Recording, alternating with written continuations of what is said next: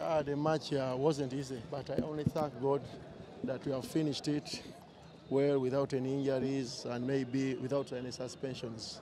Uh, I will not comment about the referee because I'm not a referee. I'm a coach. He's a referee. That is his profession. So it's up to him. That's how he made his decisions.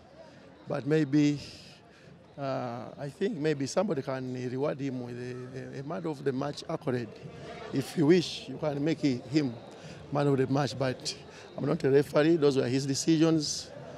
But it ended like that. We lost 2-1. But I can only say that maybe the best team today lost. They, had to go back and change their attitude because of the way the game was flowing. We had seen some danger coming. We had seen something wrong happening, maybe. So I had them to, I tried to tell them to concentrate, maybe which they didn't, because they are demoralized by the, the first goal, the equalizer.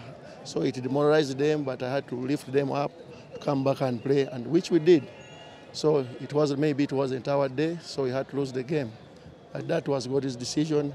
We just have to go back on the drawing board and plan for the next game. Uh, I don't think they did anything wrong because they played according to instructions.